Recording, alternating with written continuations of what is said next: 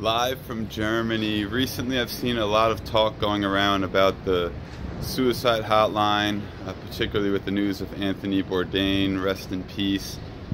We all have our own idea of what depression is, and it's very relative. I would say in my life, I battled what I would call depression, and I was very fortunate to have a strong support structure in my life during that time. And I don't have all the answers everybody's going to respond differently. But in my experience, having an outlet, somebody to talk to, was extremely healing. So I want to make it abundantly clear again that I am here. And I would like to hear your story. I would love to connect with you. And I encourage you to reach out to me if you're going through something. If you're holding on to something, it's weighing you down. I encourage you to try to release it. And I would love for you to feel comfortable reaching out to me so we could connect and talk about these things. Be good. Hit me up. Mwah.